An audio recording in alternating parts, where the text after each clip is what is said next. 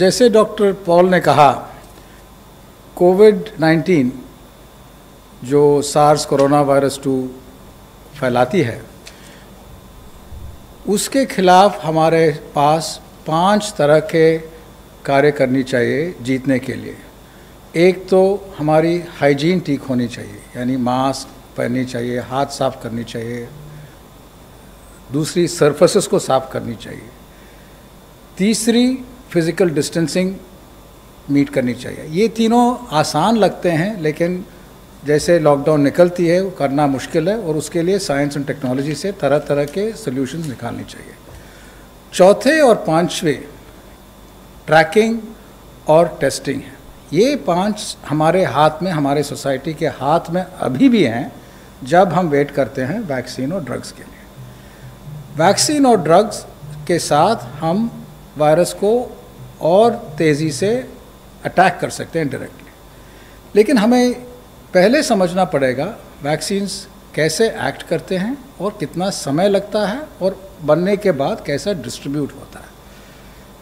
Vaccines एक तरह है कि वो जिस तरह से वायरस हमारे अंदर आके हमारे एंटीबॉडी रिस्पॉन्स उसके खिलाफ लड़ती है लेकिन रोग इसीलिए फैलती है the disease spreads because the antibody, the immune response takes a little longer and the virus by the time overwhelms us.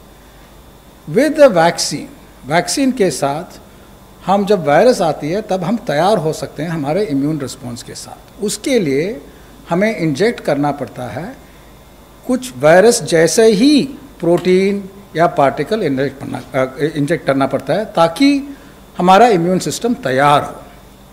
लेकिन एक चीज़ याद रखिए वैक्सीन हम नॉर्मल लोग को देते हैं। बीमार या almost in there in very late stage लोगों को नहीं देते, साधारण पॉपुलेशन को देते हैं। इसलिए वैक्सीन का क्वालिटी सेफ्टी बहुत ज़रूरी है कि पूरी टेस्ट हो।